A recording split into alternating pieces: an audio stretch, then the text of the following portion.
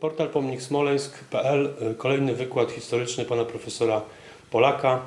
Dzisiaj spotykamy się w przeddzień pogrzebu profesora Józefa Szaniawskiego. Wiem, że byliście przyjaciółmi. Czy możemy pana profesora prosić o krótkie wspomnienie o profesorze Szaniawskim? Tak, byliśmy przyjaciółmi. Myślę, że mogę to tak e, określić. No, znaliśmy się od kilkunastu e, lat. Spotykaliśmy się przy różnych okazjach, najczęściej przy okazji audycji e, w telewizji Trwam, e, w Radiu Maryja, na e, konferencjach e, naukowych.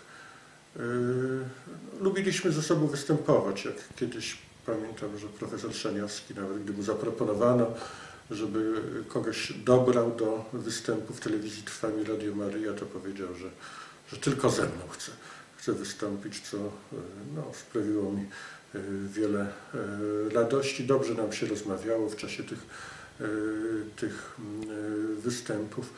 Prywatnie rozmawialiśmy bardzo dużo o sprawie porwania, zabójstwa księdza Jerzego Popiełuszki. On miał podobne poglądy jak ja na ten temat.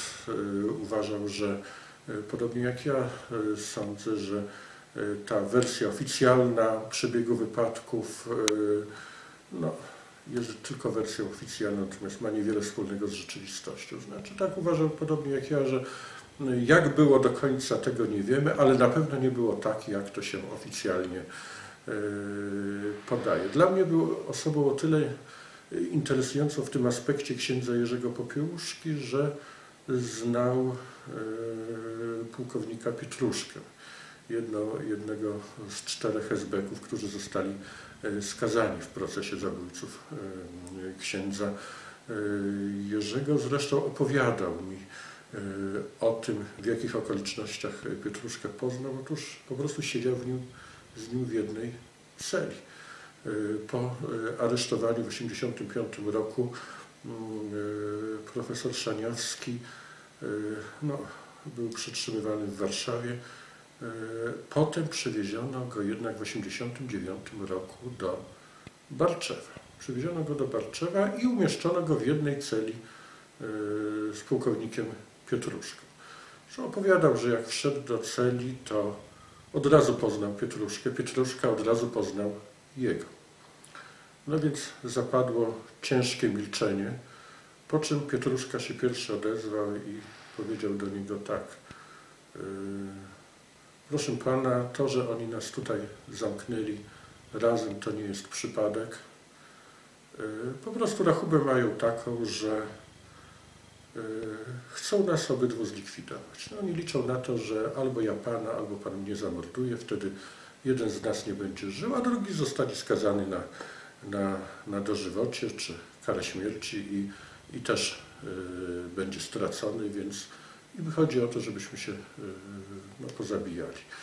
Y, I y, Pietruszka dalej ciągnął, mówi, proponuję, żebyśmy sobie jakoś ułożyli, ułożyli tutaj życie, bo inaczej nie możemy. To taki jeden z przypadków, gdy można powiedzieć, że człowieka wielkich zasług, szlachetnego patriotę zamykano do więzienia ze zbrodniarzem. Tak samo było z Kazimierzem Moczarskim i Jurgenem Sztropem, prawda?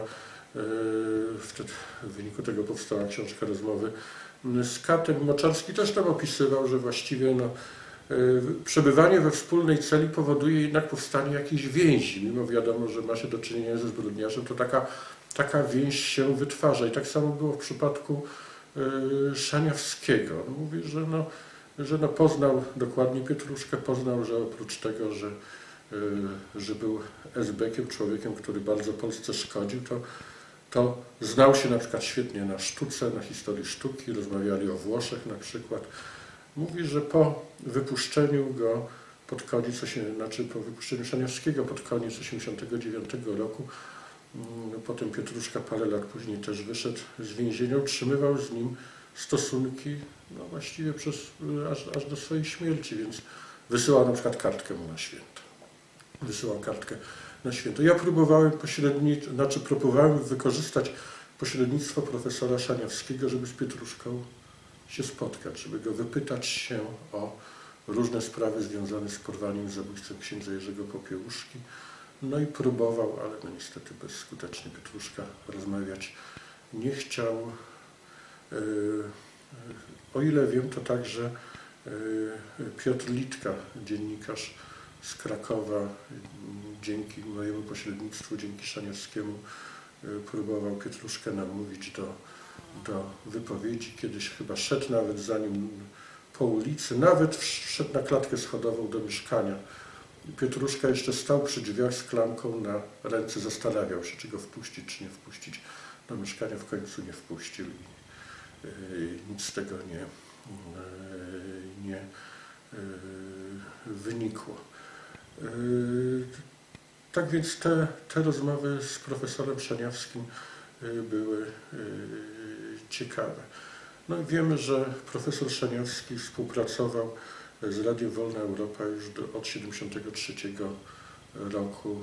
Szacuje się, że chyba z tysiąc felietonów tam y, wysłał różnych e, artykułów, notatek. y, notatek. Po aresztowaniu w 1985 zarzucono mu zdradę, współpracę z CIA i same najgorsze rzeczy, co wszystko było y, wyssane y, z palca, no ale wyrok drastyczny, dziesięcioletni rzeczywiście mm, rzeczywiście zapadł. Był wielkim patriotą i no, największą jego zasługą, no, zasług ma wiele, pisał wspaniałe książki o, o Piłsudskim, o bitwie grunwaldzkim, no i o pułkowniku Kuklińskim. Właśnie sprawa pułkownika Kuklińskiego to jest jego największa zasługa. On był, można powiedzieć, adwokatem, rzecznikiem y, pułkownika, jeździł do niego do Stanów.